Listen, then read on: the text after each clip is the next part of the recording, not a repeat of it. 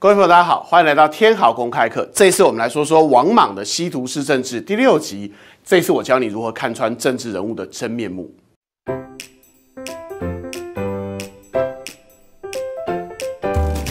对王莽的评价，两千年来最有名的、流传最广的、也最深得人心的，莫过于白居易的这首诗啦。圣君一法绝狐疑，不用专规与注释。是欲要烧三日满，辩才须待七年期。周公恐惧流言日，王莽谦恭未篡时。向使当初生便死，一生真伪复谁知？这首诗啊，文字浅显，但道理很深刻，流传千古。不过这首诗也造成一个长期的错误印象，就是当王莽还未篡位的时候呢，大家都不知道他是奸臣。我告诉各位，这其实是一个很明显的历史错误印象。我不知道白居易当年写诗的时候啊，有没有细读《汉书》的《王莽传》？像我是每天在家里吸毒啊，但我估计大诗人可能有很多事情，比如他喜欢泡酒吧。哎，早一天我来写一下白居易的一个那个好风流故事。说实在，应该是下流故事。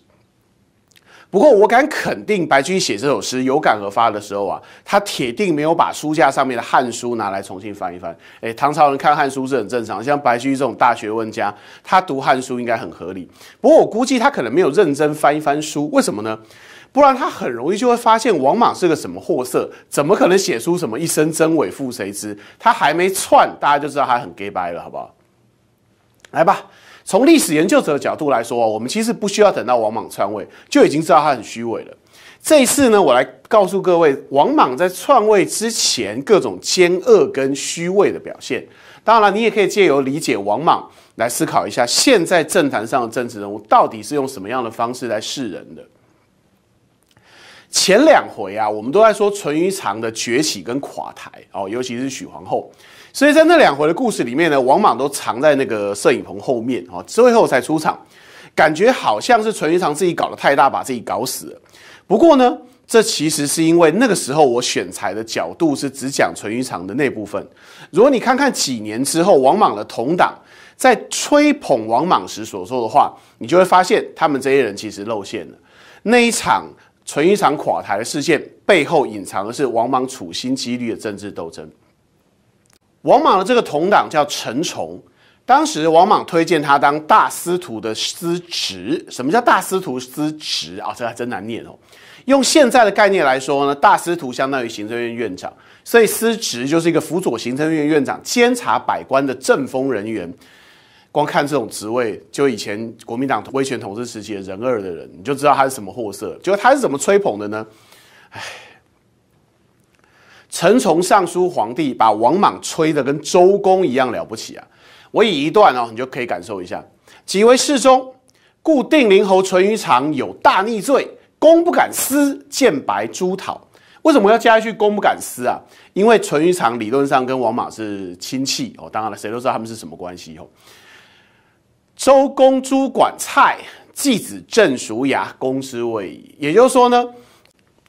把这场政治斗争呢说的跟西周初年周公评判一样政治正确。要知道，在西汉的时候啊，周公跟孔子都是绝对政治正确的人物。每次要斗争的时候，拿自己出来比周公跟孔子，说别人违反了周公跟孔子的道理，那对方就死的难看。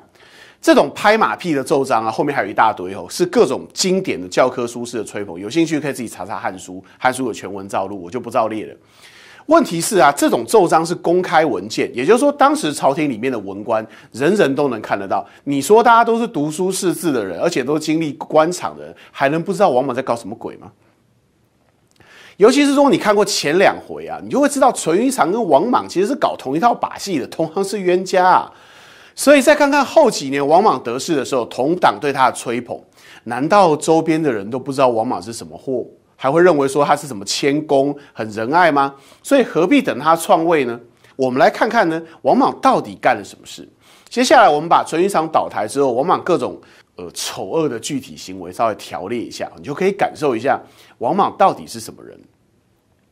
这一段呢，是我从王莽自己的传记中引出来的。莽因求其罪过，因大司马曲阳侯跟白痴，常伏诛，莽以获忠直，语在长传。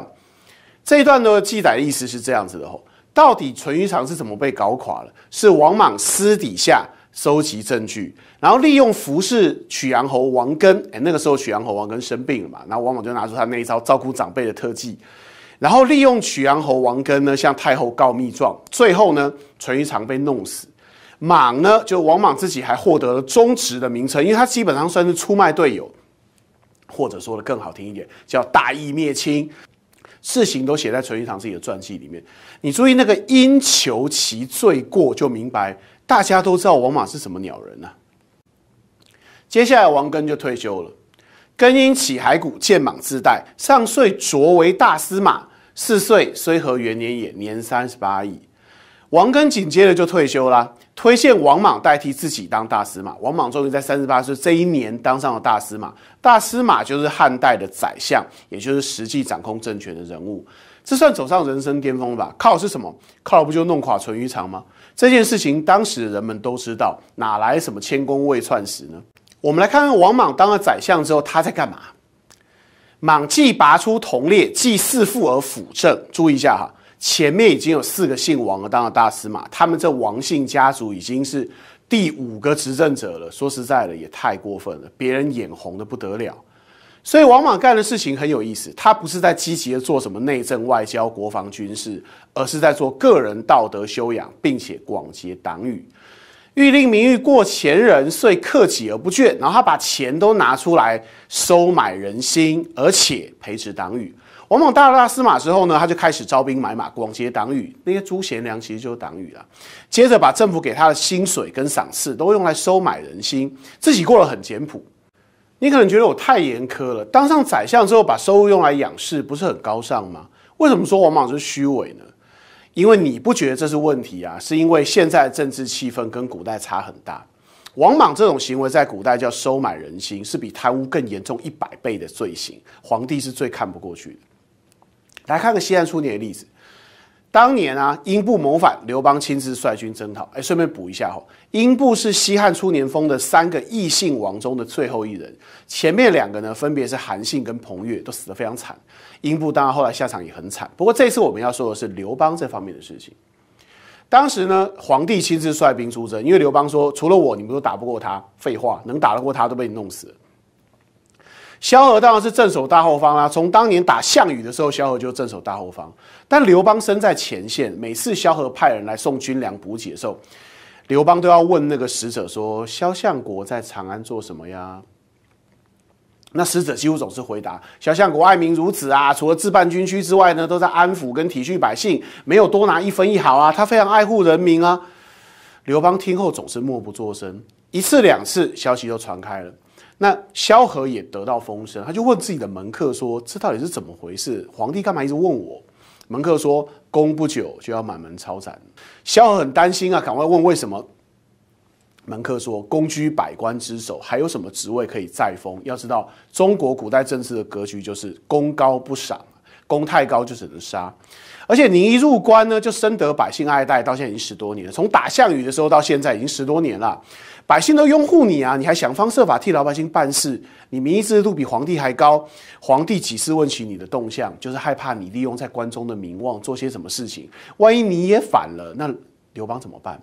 萧何明白这是事实，他只能默然。那怎么办？为今之计呢，就是贱价强买民众的田宅，对，就是做法自污，往自己身上泼脏水，让百姓怨恨你，这样皇上才会放心。萧何想了想，的确只有这个方法，于是就照办了。消息传到刘邦耳朵里面，他就笑了。后来刘邦平定英布，返回长安，在路上老百姓就急着要抗议、要告状了。那个时候汉朝政治体制还不是很健全，所以拦路告状还是可以的。那那个时候呢，萧何被控告了检举书数百封之多啊，价值达数千万之多。萧何的民意支持度在刘邦回到长安的时候是荡到极点，而刘邦则升到高点。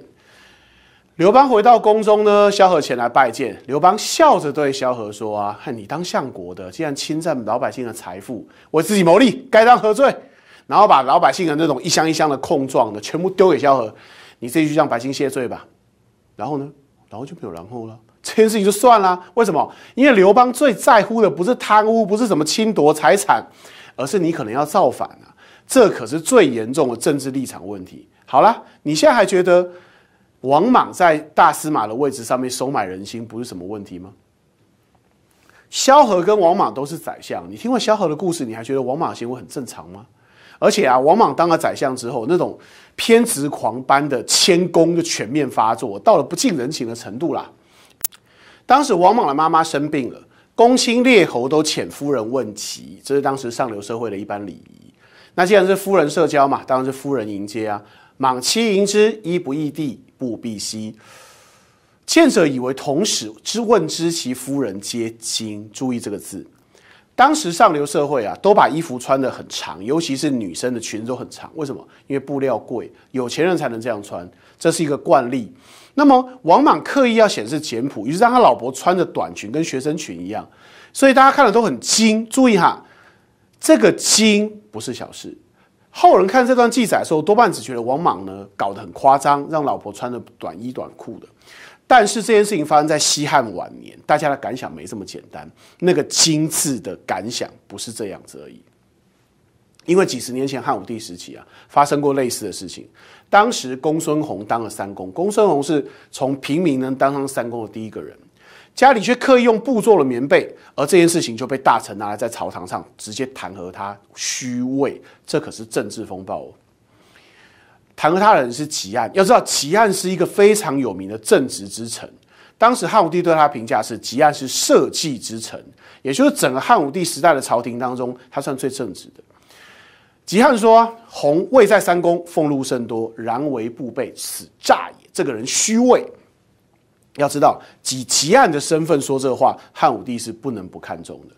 吉案直接用这件事情来弹劾公孙弘，说明这件事情本身有多严重。汉武帝很在意，于是呢，汉武帝正式问公孙弘有没有这件事。你在家里是不是盖布做棉被？公孙弘很坦诚的说：“承重弘之病，没错，这就是我的毛病，这就是我的痛处啦。”然后用了一大堆说辞，把这件事情混过去，换得汉武帝的信任。不过你要搞清楚哦，这件事情不能简单用结果来看。要知道，如果公孙弘回答的不好啊，光是用布做棉被这件事情就有可能让他丢官，而且汉武帝的个性可能还没这么简单。所以王莽让自己的夫人穿的跟仆人一样，在接见达官显要的正式场合里面这样登场，其他人能不惊吗？大家会惊讶于什么？惊讶于他的虚伪啊！《汉书》里面记载王莽这些行动，都是那个年代的人当时就能知道，他都是公开的。所以，对汉代政治规则有所理解的当代人是不可能看不出来王莽在干嘛的。何必等他正式篡位呢？所以，王莽的行为说明了他上台之后所在意的，就是他能不能继续做他的那个大司徒。可他为什么要这么假呢？他为什么要这么紧张呢？因为他的时间不多了。下一回我们就来说说王莽第一次从政治高峰跌落的重大事件。以上就是今天的节目，希望你会喜欢，也希望你可以持续订阅跟关注。我们下次见，拜拜。